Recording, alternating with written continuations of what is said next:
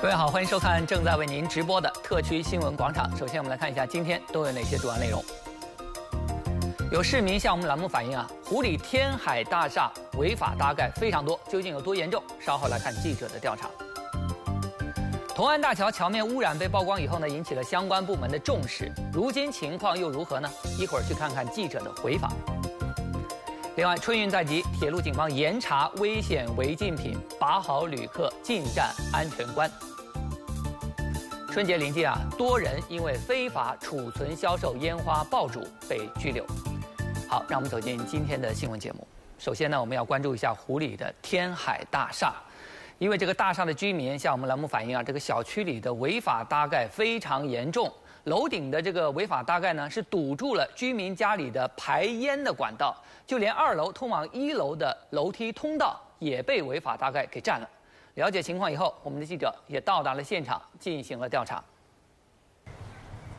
湖里天海大厦一共有两栋高六层的居民楼，其中一整栋在经营快捷酒店和足浴店，而另一栋的一层则经营着一家超市。用于居住的就只剩下内侧这栋楼中的二到六层，共有十七家住户。从外表看，两栋楼的顶层都被违法搭盖占领，六层楼变成了七层。通过楼梯走到小区内部再看，就更夸张了。里面就像搭积木一样，从二层到六层，层层都有，就连一个供居民休闲的凉亭也被违建包了起来。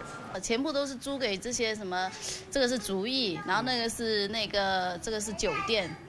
我们做十几年都不知道炒了多少次了。他这个门，你明显的看到他就是要把它关起来，占为己有啊。对呀，下面就是一个他们现在再来做仓库，啊。然后呢，导致于我们的那个小区啊，又被那个了。原本天海大厦有三个出入口，其中两个都要通过这个被堵的楼梯才能出入，而现在这里已经被封死，成了仓库。楼梯间被堵后，原来的出入口又变成了什么样呢？在路口，我们是从可以从这边走，因为我们这两栋小区是相通的。嗯。但是我来的时候，它也就封掉了。之前不是这样，这是一个敞开的空瓶，就是一个。类似于停车的地方，这是可以停车的，里面还很宽。现在居民们只能从仅剩的一个出入口进出。不仅如此，安全隐患也很多。在小区三楼的平台上，足浴店设置了三个水塔，里面的水经常会溢出来，漫到二楼的平台上。这条回家的必经之路也变得十分湿滑。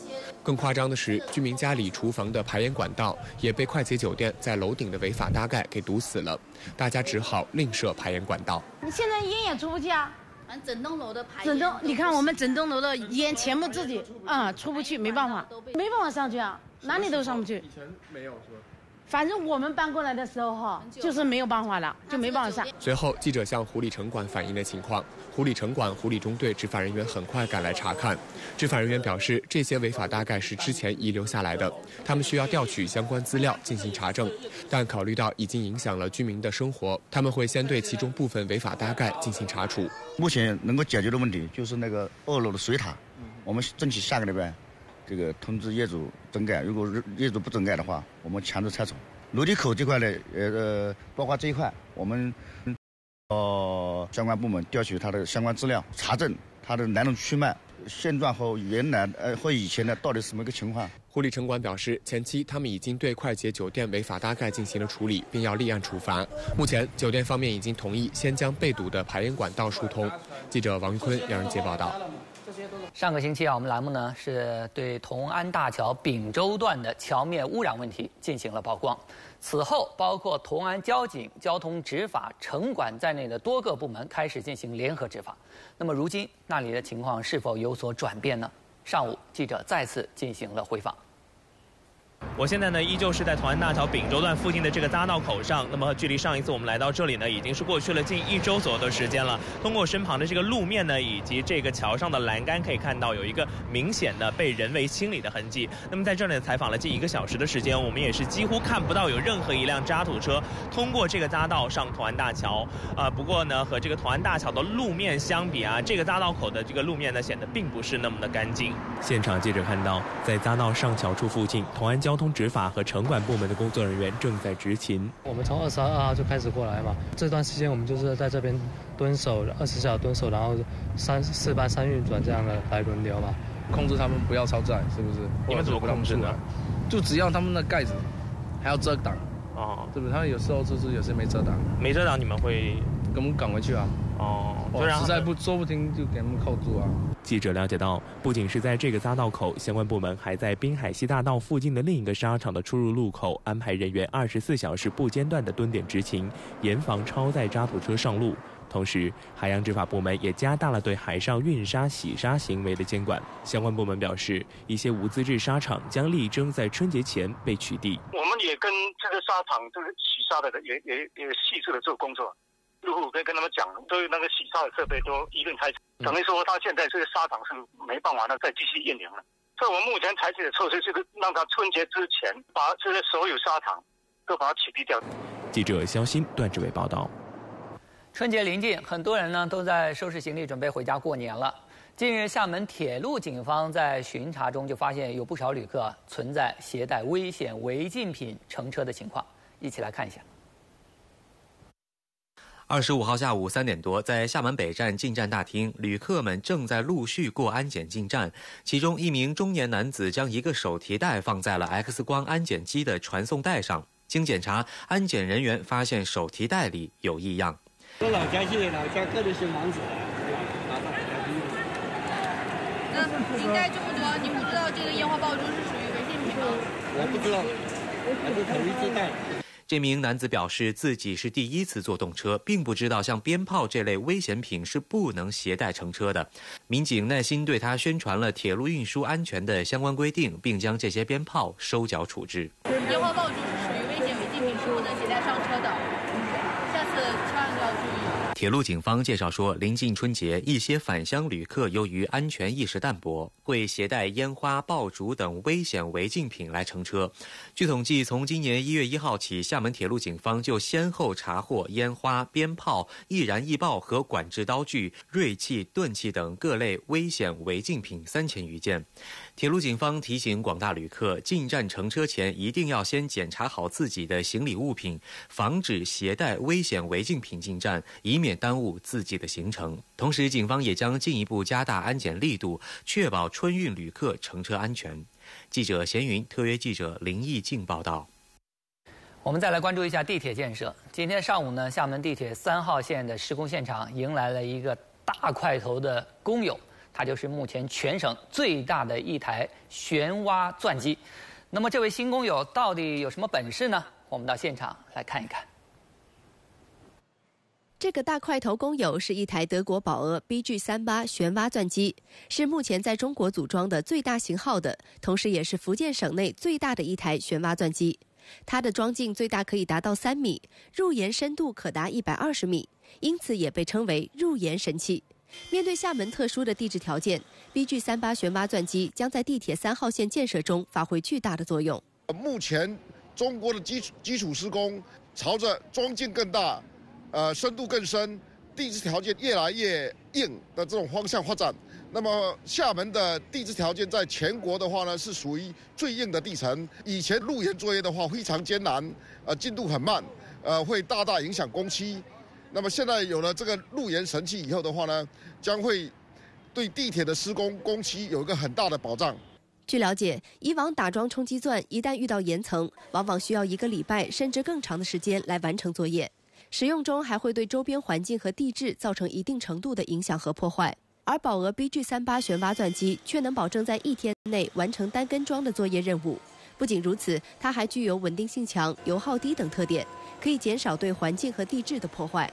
地铁施工只是旋挖钻机应用的一方面，呃，对于高铁建设、高铁的地基处理，包括我们那个超高大楼的基础的一个打桩，呃，也是一个很大的一个帮助。记者胡兰兰、吴国豪报道。放寒假了，图书馆呢成为了一些阅读爱好者的好去处。那么今年的寒假，市图书馆都为大家提供了哪些阅读服务呢？我们来了解一下。在市图书馆大厅里，记者见到了这间小小的朗读亭。在这里，读者可以点击自己喜欢的选段来朗读，还能保存到自己的手机里。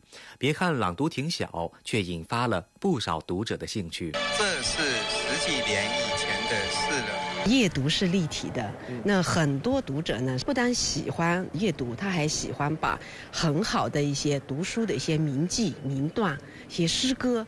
嗯，这个朗朗读出来，会推动他对这个诗歌，呃，这个这个还有一些散文的这种阅读兴趣。除了提高读者们的阅读兴趣外，市图书馆还全新推出了刷脸借书的新举措。市图书馆最新推出的高科技刷脸借书究竟如何操作呢？我们来试一下。首先用微信绑定厦门市图书馆的公众号，进入微服务大厅之后，点击微信刷脸，上传一张自己的照片。上传成功之后呢，就可以在这里进行刷脸借书了。市图书馆表示，目前馆里可以提供刷身份证、借书证、扫描市民卡二维码、输入证件号和刷脸五种借阅服务，大大方便了市民的阅读体验。今年一月，《图书馆法》正式实施，法律明确指出，公共图书馆要建立覆盖城乡的服务网络，推动全民阅读。目前，我市已经初步构建起城乡一体化的公共图书馆服务网，建成了两百五十九座图书馆及服务网点。对没有覆盖到的地方，还推出了汽车图书馆服务。另外，今年下半年，位于集美新城的市图书馆分馆也将建成投用。集美新城。建设的一个六万平方米的这个新馆，可能就要建成开放了。那在新的图书馆呢，市民可以呃体验到一些智能化的这个呃那个服务设施，呃还能体验到一些个性化的这个阅读服务，嗯，还有一些新媒体阅读的服务。记者王玉坤、段志伟报道。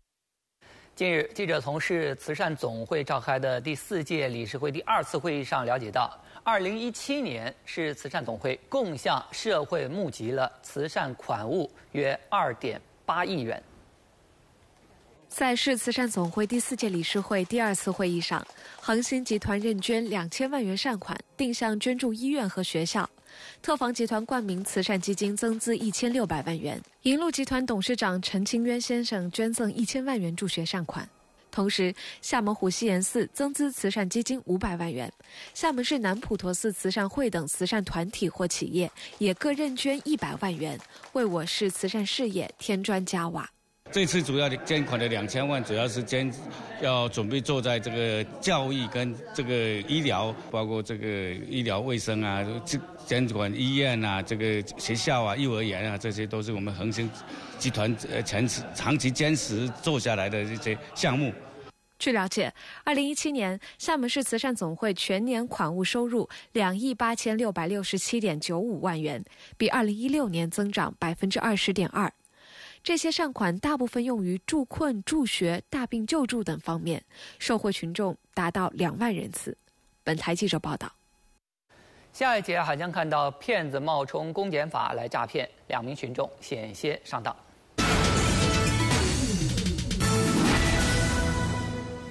市容巡查组在走访中发现，曾厝垵西路周边存在着环境脏乱的问题。市容巡帮我们来关注一下。通过走访能够看到，在曾厝垵西路与曾厝垵北二路交汇的街边墙角边，一排敞开盖子的垃圾桶非常显眼，远远就能闻到阵阵臭味。道路两侧的人行道上摆放着很多废旧桌椅、摊位车等杂物，一些绿化围栏也已经散架倒伏。路边这根交通设施杆生锈倾斜，存在安全隐患。另外，附近店家的广告牌设置也不规范。一些灯箱、电招占道摆放，种种乱象有碍市容观瞻。希望这些问题能够引起属地滨海街道的重视，协调督促相关单位及时整改。本台记者报道。春节就要到了，一些商家呢想趁机赚一笔，于是偷偷卖起了烟花爆竹，存在安全隐患。近日，海沧警方对这些非法储存、销售烟花爆竹的行为进行了打击。一月二十二号下午，中山派出所民警结合前期掌握的情况，深入辖区城中村等地，开展烟花爆竹统一清查行动。其中，一组警力在石塘村一寺庙旁的小卖部仓库内查获了大量烟花爆竹。小卖部隔壁一个房间存储大量的烟花爆竹，这个里面没有任何的安全那个消防设施，没有灭火器，也没有其他的那个一些基本的什么喷淋系统，就是一个很简单的活动的平房，很容易引起那个火灾。没有取得安监部门颁发的销售存储的许可证。当天，六组警力在中山村、鳌冠村等地，一共查处了六处非法销售、储存烟花爆竹的商店，现场查获十五箱鞭炮、一百一十二串散装鞭炮以及多件烟花和擦炮，并对情节较重的三名经营者进行了行政拘留。那一经发现了这个非法储存这个烟花爆竹的、非法销售的，哦，一律呢，我们这个根据治安管理处罚法的规定呢，进行了治安处罚。同时呢，我要求呢，这个我们的辖区的这个群众呢，对，一定要通过正规的渠道去购买这个烟花爆竹，对。同时呢，在允许这个燃放的区域呢，这个来燃放。此外，咸安新店派出所，在禁放查非专项行动中，也查获了六起非法储存销售烟花爆竹的案件，收缴各类烟花爆竹三百多件。记者于博飞、高志强报道。一名男子呢，这个之前啊，因为各种罪名五次入狱。近日，男子又因为缺钱四处盗窃手机，最终被同安警方抓获。监控画面显示，一月六号清晨六点多，一名黑衣男子来到同安同心路旁的一家网吧上网。很快，他发现隔壁坐的一名男子正在睡觉，于是他开始四处观察周边的情况，并多次起身离开座位。在确认周围没有人注意之后，黑衣男子走向隔壁座位，拿起桌上的手机看了一眼，又放下。四处溜达一圈后，他又走了回来，拿走了桌上的两部手机，顺手关上自己的电脑，迅速离开了现场。根据他这个平时的轨迹，然后。判断可能是会出现在乌图下坡里这一带。那天上午差不多十十点到十一点左右，我们在在那个路口那边等候，远远的我们就看到他走过来，然后一眼我们就认出是嫌疑人叶某。那我们兵分几路包抄。经查，二十六岁的嫌疑人叶某是本地人，曾因抢劫、盗窃、诈骗等犯罪行为五次入狱。警方初步查明，从去年年底开始，叶某先后在同安辖区趁人不备盗走他人手机，累计作案五起。可能有就是赌博那些行为，那可能在外面有欠债，他都不敢回家。那平时就住住在住在乌图那边。在今年十呃一一七年的十二月份，他可能是因为。手头绝技嘛，租住的房子都退掉了，那平时只能是住在网吧，在这种这种地方过夜。目前，犯罪嫌疑人叶某已被警方依法刑事拘留。记者玉博飞、段志伟，特约记者陈贤报道。说起诈骗手段，冒充公检法呢，已经是一种老套路了。但是近日有两名群众接到诈骗电话以后，还是差一点上了骗子的当。那么，在行骗中，骗子究竟用了哪些说辞让受害人信以为真呢？一起来看。冯先生是一名保安。一天中午一点多，正在值班的冯先生接到冒充厦门电信局工作人员打来的电话，对方告知冯先生他的手机即将被停机。冯先生觉得莫名其妙，就反问对方为什么要停机。对方告诉冯先生，停机的具体原因可以询问云南省公安厅的杨警官。随后，电话那头就换成了一名杨警官接听了电话。他说：“云南省昆明市有一个张云的那个犯罪团伙，就是你在内一一起的。他说你老老实实的交代，如果你不老老实实交代的话，下我们马上通过厦门市公安局马上逮捕你。”冯先生回忆，自己当时确实是被杨警官严厉的口气给吓坏了。当杨警官要求冯先生说出自己的姓名、家庭地址、身份证号码和银行卡号时，冯先生头脑一懵，全都告诉了对方。之后，一名自称云南省公安厅厅长的人继续与冯先生通话，对方表示，想要证明自己清白，就必须让警方验证银行账户里的资金。根据厅长的要求，冯先生回家取了银行卡，然后准备去银行将钱转入指定账户。这时，回过神来的冯先生越想越不对劲。哎，当时我就怀疑，我说不对呀，你是个公安局的那个厅长，厅长为什么要转这这些钱过去呢？最终，冯先生没有转账，并立即向派出所民警咨询。当民警告知这是一种诈骗手段，拒绝转账是对的，冯先生这才松了一口气。巧合的是，家住店前社区的吴老先生也遭遇到冒充公检法的诈骗。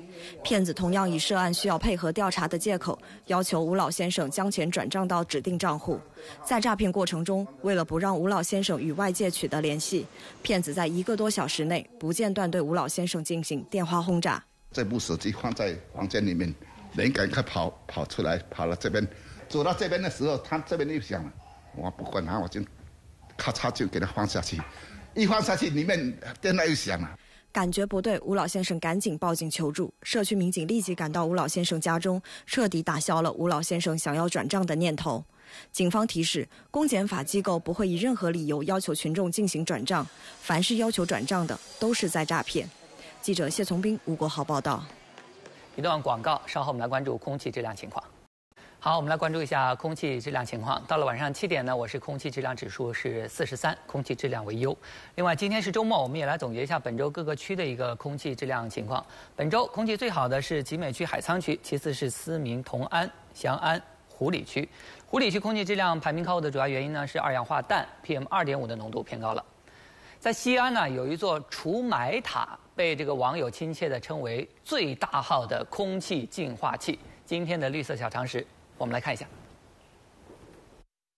除霾塔是中国科学院地球环境研究所的重点实验项目，位于西安市长安区，塔高六十多米，塔内直径为十米。该实验项目的主要构件由极热棚、风机、镀膜玻璃等部分组成，每一处构件都能对除霾起到一定的作用。极热棚的主要作用是聚集空气，并通过镀膜玻璃对空气加热，促使热气流上升。由于极热棚内设置了过滤网墙，当被污染的空气进入过滤网墙时，空气中的各种污染物。和杂质可以被过滤掉。风机的主要作用是通过风机叶片的运转，加速推动空气的流动，从而提升净化空气的效率。镀膜玻璃是在普通单层钢化玻璃的表面两侧喷涂化学催化试剂加工而成。该催化剂可以有效降低空气中的尘霾因子的活性，从而提高除霾效果。目前，除霾塔主体工程已建成完工，正处于试验阶段。根据前期的试验结果来看，这座空气净化塔对改善空气质量质量确实能起到一定作用。另外，今天夜间到明天白天，大气污染扩散条件一般，预计明天我市空气质量为良，会受到二氧化氮的影响。好，以上就是今天特区新闻广场的全部内容，感谢您的收看，再会。